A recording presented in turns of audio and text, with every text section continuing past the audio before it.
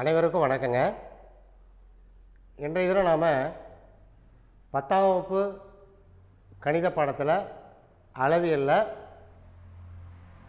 ஏழு புள்ளி நாலில் ஆறாவது கணக்கு பார்க்க போகிறோங்க பார்ப்போமா? முதல்ல கணக்கு என்ன செய்வோம்? ஒரு தடவை படிப்போம். ஓர் உள்ளீடற்ற அரைக்கோள ஓட்டின் உட்புற மற்றும் வெளிப்புற விட்டங்கள். விட்டங்கள்னு சொன்னாலும் ஒன்று நமக்கு ஆரம் ஞாபகத்துக்கு வரணும். முறையே ஆறு சென்டிமீட்டர் மற்றும் பத்து சென்டிமீட்டர். அப்போ என்னங்க? தேங்காய் முடியோட படத்தை போட்டுருணுங்க அவ்வளோதான் ஃபஸ்ட்டு ஏன்னா எப்போதுமே இந்த உட்புற வெளிப்புற விட்டங்கள்னு கொடுத்துட்டாலே நமக்கு தேங்காய் மூடி ஞாபகத்துக்கு வந்துடணும் அப்படி இருக்குதுங்க. அதான் இதெல்லாம் தேங்காய் இருக்கிற இடம்னு வச்சுங்களேன். ரைட் இதுவே இந்த இந்த மாதிரி போட்டு காமிக்கணுன்னாக்கா வெட்டின பிறகு இப்படி போடணுன்னாக்கா இப்படி போடுவோம். ஆ ஆ அவ்வளோதான் இந்த வெள்ளையா இப்போ பெயிண்ட் கொடுக்குறோம் பாருங்க. சாப்பி சாரா இதெல்லாம் வந்து தேங்காய் இருக்கிற இடங்க. ரைட் இது வந்து உள்ளார இருக்கிற ஆரம் ஸ்மால் ஆறு. இதில் இந்த கடைசி வரைக்கும் இது வரைக்கும் போட்டிங்கன்னாக்கா பெரிய ஆரம். வெளிப்புற ஆரம். புரியுதுங்களா? ரைட் இதுதான் அந்த உருவம். என்ன கொடுத்துருக்கு? உட்புறம் மற்றும் வெளிப்புற விட்டங்கள் ஆறு சென்டிமீட்டர் பத்து சென்டிமீட்டர். அப்போ என்ன கொடுத்துருங்க? விட்டம் கொடுத்துருக்கு. அப்போ விட்டம் வந்து ஆறு சென்டிமீட்டர். ஆறு சென்டிமீட்டர்னா ஆரம் எவ்வளவு? ஸ்மால் ஆர் ஈக்குவல் டு விட்டத்தில் பாதி. அதனால் மூணு சென்டிமீட்டர் போட்டுக்கலாமாங்க? இது உள்ளாரம் அடுத்து நம்ம என்ன செய்கிறோம் வெளியாரத்தை பார்க்க போகிறோம் அதில் விட்ட என்ன கொடுத்துருக்கு? விட்ட வந்து பத்து சென்டிமீட்டர் கொடுத்துருக்கு. அப்படின்னா அந்த இந்த ஆரம் எவ்வளோதுங்க இது வந்து இதுக்கு பேர் வந்து நம்ம வந்து உள்ள ஆரம்னு சொல்கிறோம் இது வந்து வெளியாரம் வெளியாரம் பெரியார் கேபிட்டல் ஆர். விட்டத்தில் பாதி. அப்போ எவ்வளோங்க அஞ்சு சென்டிமீட்டர். இதை சுருக்கமாக நம்ம என்ன பண்ணிக்கணும்னா ஸ்மால் ஆர் ஈக்குவல் டு மூணு. அதே மாதிரி கேபிட்டல் ஆர் ஈக்குவல் டு ஐந்து. அப்படின்னு நம்ம குறித்து வச்சுக்கிட்டோம்னா நமக்கு எளிதாக இருக்கும். வேற ஒன்றும் இல்லை. அடுத்து அது உருக்கப்பட்டு இந்த தேங்காய் இருக்கிற பகுதி மட்டும் உருக்குறோம். உருக்கப்பட்டு பதினாலு சென்டிமீட்டர் விட்டமுள்ள நல்லா கவனிக்கணும். திண்ம உருளையாக இதை எப்படிங்க மாற்றிட்டோம் உருளையாக மாற்றிட்டோங்க இந்த உருவத்தை அப்படியே உருளையாக மாற்றிட்டோம் மாற்றுவோமா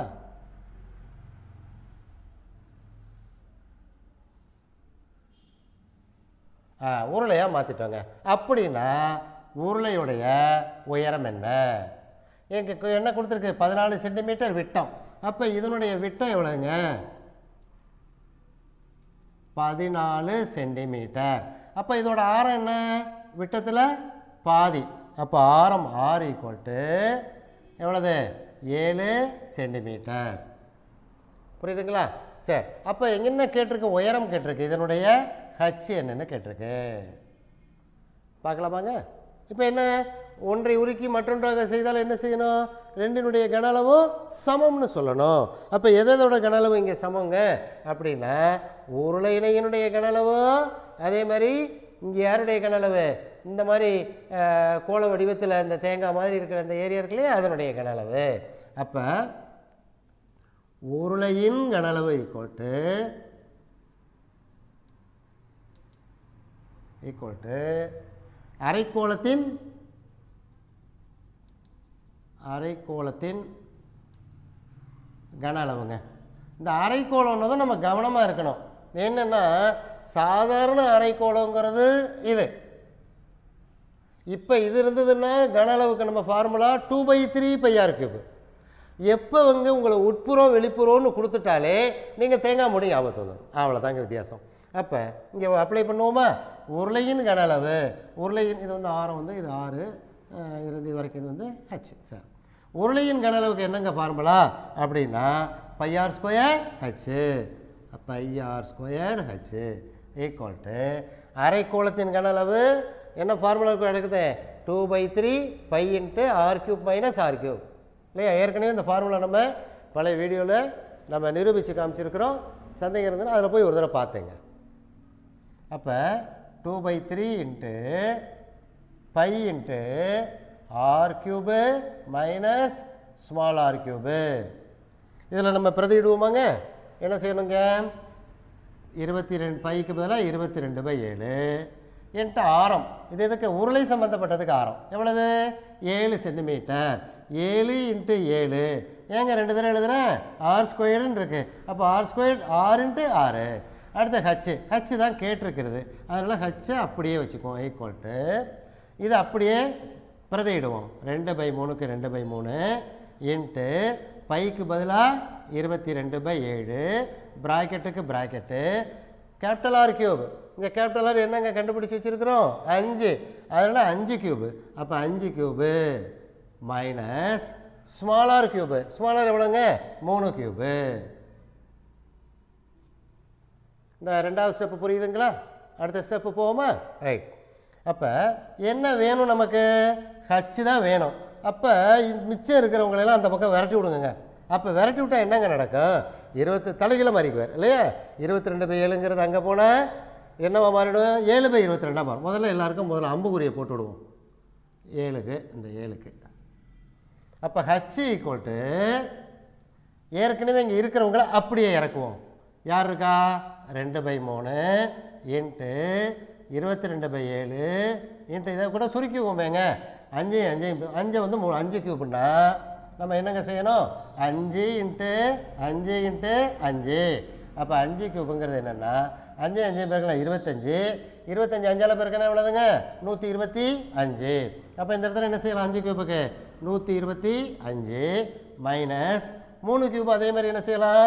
மூணு இன்ட்டு மூணு இன்ட்டு மூணு. மும்மூணு ஒம்பது ஒம்பத்தி மூணு இருபத்தி ஏழு. இப்போ நம்ம விரட்டி அடிக்கிறோம்லே அவங்கெல்லாம் அங்கே போய் என்ன ஆகுறாங்கன்னு பார்ப்போம். என்னென்னா இங்கே என்ன நிகழ்ச்சி நடக்குது விரட்டினோன்னே இருபத்தி ரெண்டு பை அங்கே என்ன போயிடுவார் ஏழு பை இருபத்தி ரெண்டாக மாறிக்கிறாரு. இன்ட்டு இந்த ஏழு அந்த ஏழு என்னங்க ஆவாங்க? தலைகீழ் ஆகிக்குவாங்க அப்போ ஒன்று பை ஏழு இன்ட்டு ஒன்று பை ஏழு.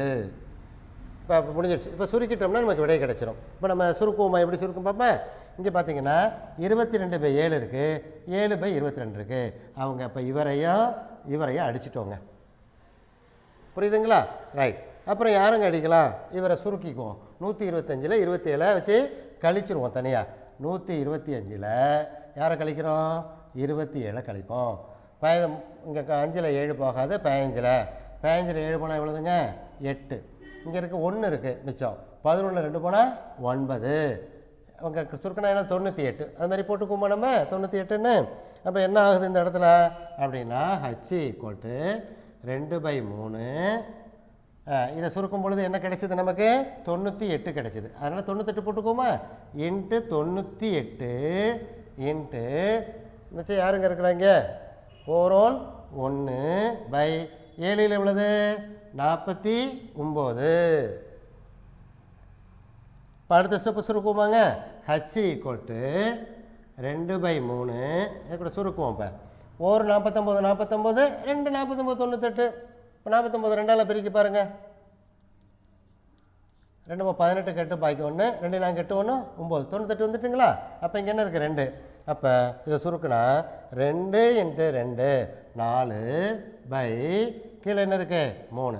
அப்போ ஹச் ஈக்குவல் டு நாலு வந்து மூணால் வகுப்புமாங்க? நாலு வந்து மூணால் வகுப்போம்.